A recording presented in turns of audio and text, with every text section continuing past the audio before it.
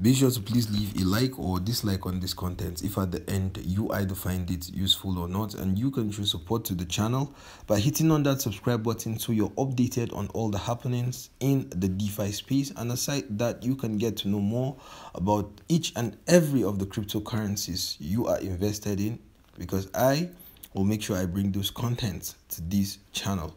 Now, without any further delay, as you can see it here, Cardano's Alonzo Purple testnet begins onboarding users.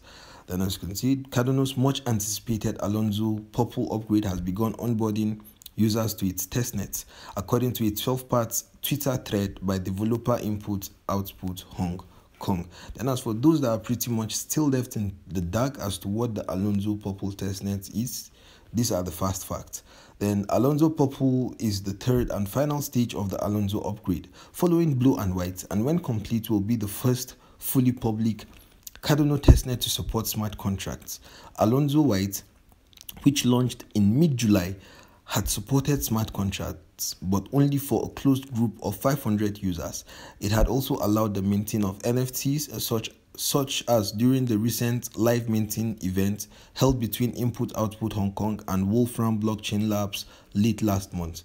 Then full support for smart contracts on the network is expected by the end of August or early September. Once the upgrade is complete, the network is even expected to support an ERC20 converter, allowing Ether tokens to be able to run on it. Cardano's development has been divided into five sets of updates, with Alonzo marking the completion of the Goguen era in order for the for deployment. The eras are Byron, Shelley, Goguen, Basho, and Voltaire. Then CEO and founder of IOHK, Charles Hoskinson, said of the updates via a video on Twitter. He said, Alonzo's a lot smoother than Byron and Shelley. A lot more is being upgraded, but the process of upgrading has been so refined, it's amazing. We can flip a switch as an ecosystem and it just works on the other side. Then this is the movement of the cryptocurrency. Yeah, so that's it for today's content, guys. Be sure to please leave a like or dislike on this content. And you can also show support to the channel by hitting on that subscribe button so you're updated on all the happenings in the defi space and you get to know more about the cryptocurrencies you're invested in.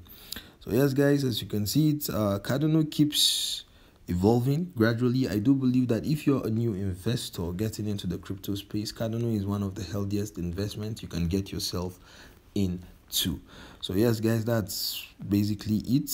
Stay safe stay crypto. Peace